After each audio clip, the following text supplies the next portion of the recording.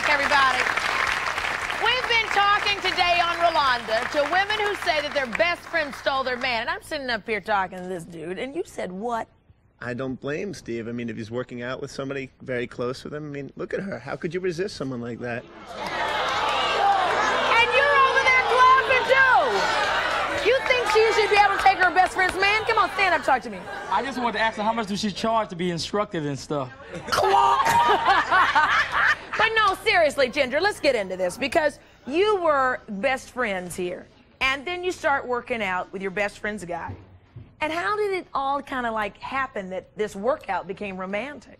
Well, you spend a lot of time with someone when you're personal training them. Right. And we work.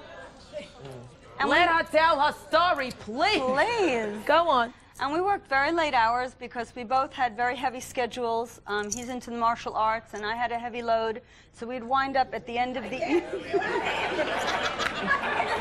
Go on. so we would wind up at the end of the evenings a lot together after our training, and I'd be hungry and he'd be hungry.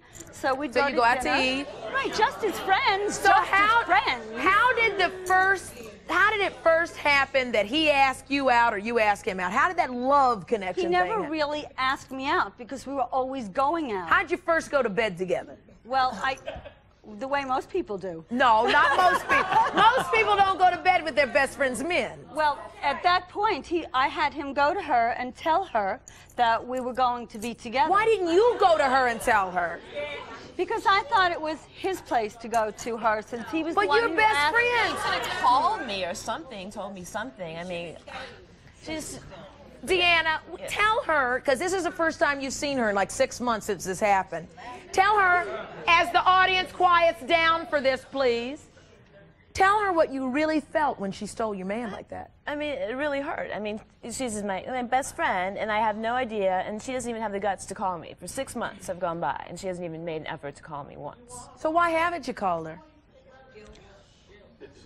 I didn't really have anything to say to her because she told Stephen um, some terrible things about me when he went to her. I did And- not. What are you talking about? Well, that's what he told me.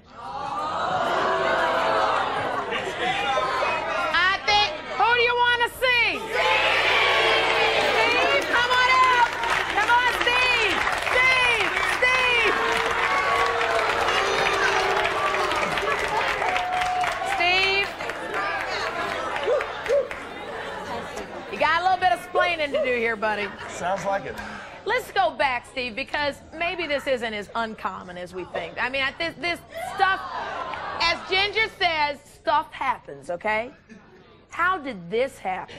Deanna introduced me to Ginger because I was thinking about taking my martial arts career into more of a bodybuilding weightlifting thing, which obviously didn't work out. But as we trained, we just became friends. And I started feeling emotionally attracted to her. It wasn't all sexual, you know, and we definitely never fooled around. There was no cheating or lying or stealing or anything like that going on behind Deanna's back. Until. no, never until. Never? We we decided we wanted to get closer. Yeah. And she said right away, you know, we have to be honest and up forward with the whole situation, and that I should go to Deanna and make a clean break of it before we went any further. So I did. How did you say it? God, was that like the hardest day of your life? You know the uh, the country western song, um, "She Took It Like a Man." Okay. Well, No, I don't know that song. I, I pretty much came out and and told her that you know I had a great time with her. and She's a wonderful person. I have nothing bad to say about Deanna, Yeah. but you that think- I wasn't quote unquote in love with Yeah. her. You told me. I I, I did did say no. I said I loved loved her. I did. Yes.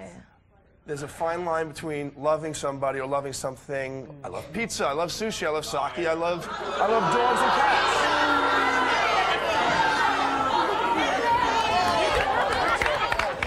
First of all, uh, the way, don't you think that uh, the two men are playing the four of you?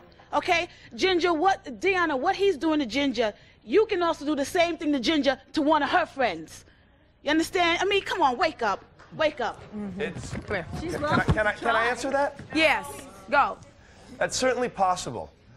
but I believe in I believe in following my heart. I believe in if, if I fell for Ginger, which I did and fell hard. It wasn't it wasn't a fling. We've been going out now 7 months. I did, but I felt stronger for Ginger. Now, if I had continued to go out with Deanna, feeling for Ginger, then we would have been living a lie. And that So wouldn't have been So what's fair. wrong? The guy's heart went to Ginger. Now, is there something wrong with that? We'll continue this conversation right after this.